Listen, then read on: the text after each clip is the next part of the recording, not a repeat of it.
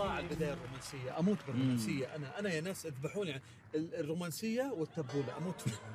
والله مروان أنا ما أنا بس سؤالي الرومانسية في حياتك بتاخذ قديش؟ طبعا أنت عارف في رومانسية العين في رومانسية الكلام في إيه، رومانسية في التعامل. إيه. مثلا آه، أنت في البيت كيف تطلب قهوة؟ إنه آه على فنجان القهوة مظبطه مثلا عرفت كيف؟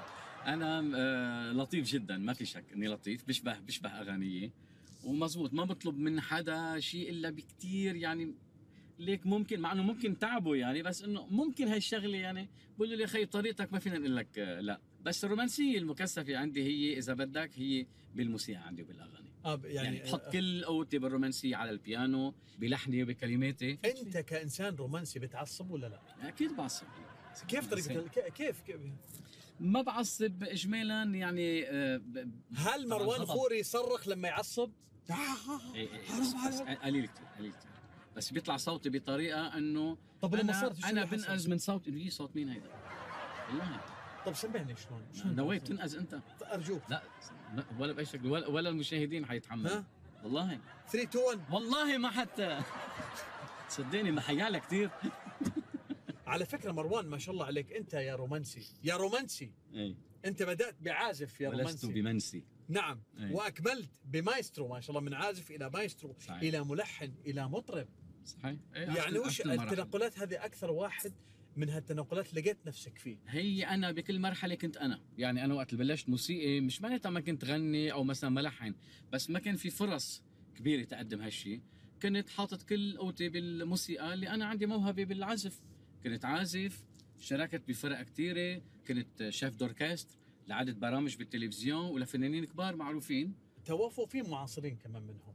المعاصرين مزبوط مثل عندك؟ مثلا مثلا الله يرحمها فنانتنا الكبيرة صباح اشتغلت معها فترة وكانت رائعة. اشتغلت الله يرحمه ملحم بركات. من المعاصرين آه، طيب من المعاصرين آه،. وائل كفوري اشتغلت. chef d'orchestre معه فترة سنتين سنتين ونص. هو ما شاء الله منيح يعني والله. إيه إيه. والآن علاقتكم كيف؟ ما زلت ما في؟ علاقه مباشرة بقى ما ما بعرف ليه بس إنه عادي. في مطرب كثير يعجبني رائع وتدرج من موسيقي إلى مايسترو إلى شيء مش طبيعي. إيه. اسمع الأغنية هذه واعطينا رأيك فيها بكل أمانة. أرجوك رجاء. 12 12 2022 تاريخ عجيب. هو اللي ارتبطت فيه بالسيدة ندى يا أيوة. سلام مم. بعد قصة حب عاصف يعني يعني تأخرت يا أخي لما جاك إعصار الحب إعصار الزواج تأخر ما هي أكثر ثلاث مميزات شدتك في ندى؟ قلت بس هي هي هي هي هي هي قدرت علي هالمميزات علي. إيه إيه ليك رح كون صريح أول شيء. شكلها شكلها حبيت شكلها Your style يعني. عيونها الواسعة وهال وهال اللون الحنطي أنا بحبه الش- الشكل الشرقي. مهضومة بقدر أتسلى كثير أنا وياها.